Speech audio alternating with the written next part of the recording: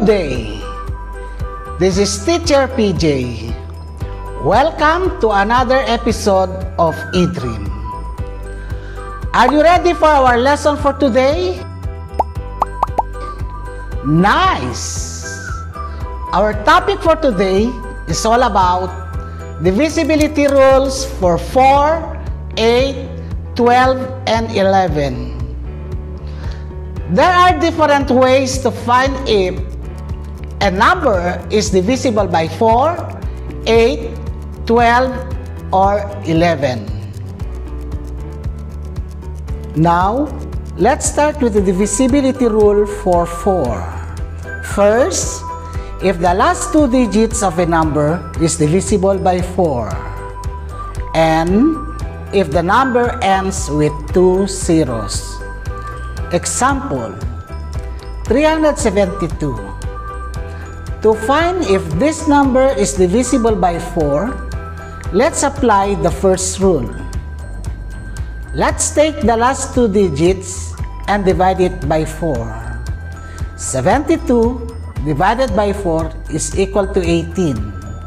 Therefore, 372 is divisible by 4.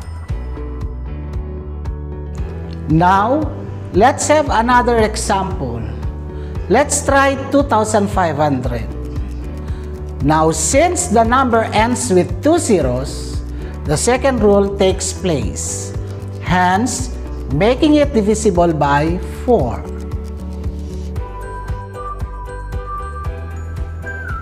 Now, let's take a look at the divisibility rule for 8. First, if the last three digits forms a number that is divisible by or a multiple of 8. Also, if a number ends with three zeros. Let's try these examples. We have 6,520. Now, let's apply the first rule. Take the last three digits and divide it by 8. 520 divided by 8 is equal to 65, making 6,520 divisible by 8. How about 17,000? Is it divisible by 8? Yes, it is. Since the number ends with three zeros, therefore, it is divisible by 8, following the rule number 2. And now, divisibility rule for 12. Any number is divisible by 12 if it is divisible by both 3 and 4. To check if it is divisible by 3, we have to add all the digits in the number and divide it by 3.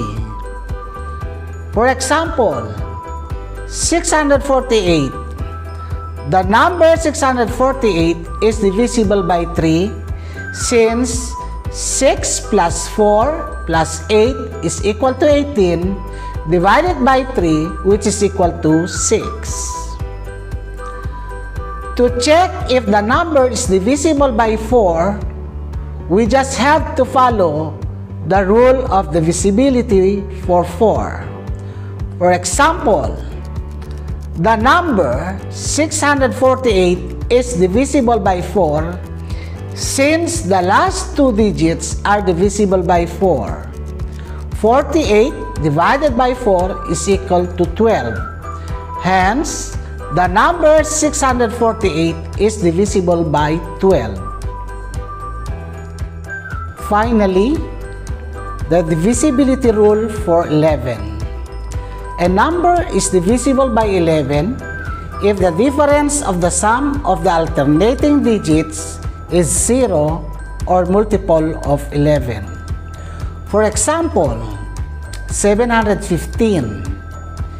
We will be adding 7 and 5 and subtracting it by the alternating number or numbers, in this case is 1. 7 plus 5 is equal to 12 minus 1 which is equal to 11. Therefore, 715 is divisible by 11. Let's try another one. 6,413.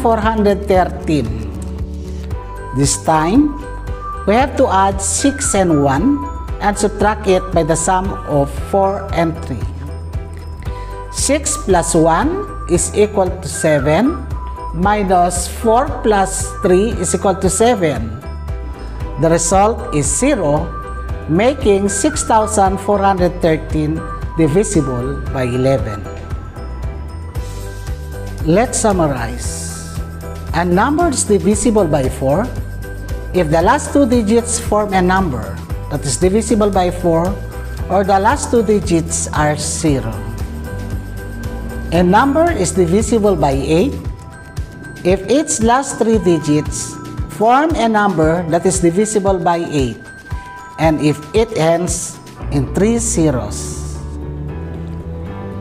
A number is divisible by 12 if it is divisible by both 3 and 4. And a number is divisible by 11 if the difference of the sum of alternating digits is 0 or a multiple of 11.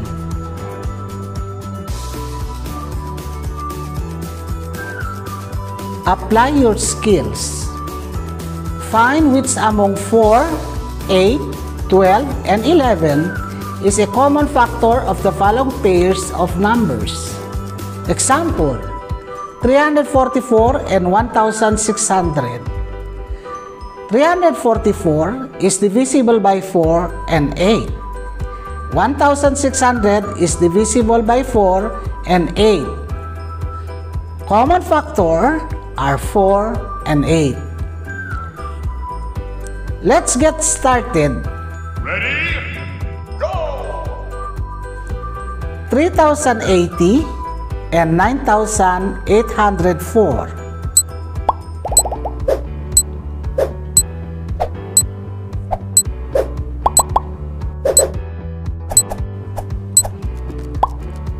Three thousand eighty is divisible by four, eight, and eleven.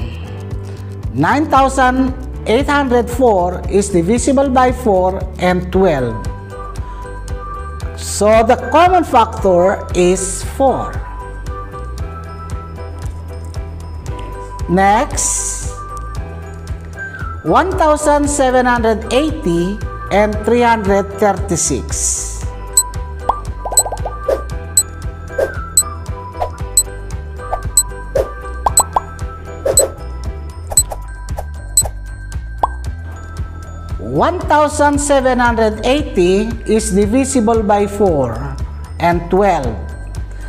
336 is divisible by 4, 8, and 12.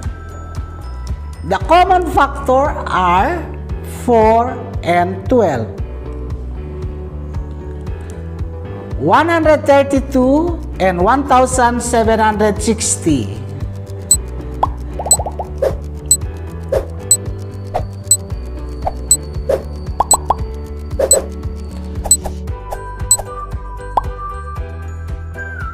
132 is divisible by 4, 12, and 11. 1760 is divisible by 4 and 11. The common factor are 4 and 11.